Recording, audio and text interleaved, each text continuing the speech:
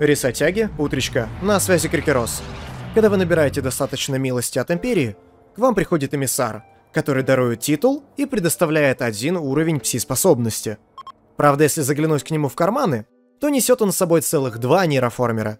Из чего делаем вывод, что лишний пси-уровень он забирает себе. И я считаю, данную несправедливость нужно исправить. Как только он будет готов, окружаем его деревянными стенками, притаскиваем энергию и обогреватель.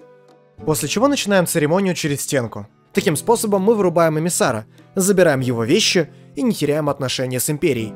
А самое главное, что буквально через несколько часов можно будет это повторить. Через пару дней такого фарма вся ваша колония будет сильнейшими псиониками на свете. И на этом все. Ставьте лайки, всем до связи. И да, это был Мегаабус.